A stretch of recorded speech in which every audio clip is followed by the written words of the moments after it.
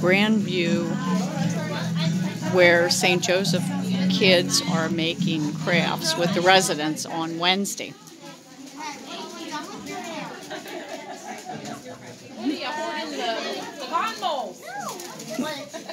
Hey Lily.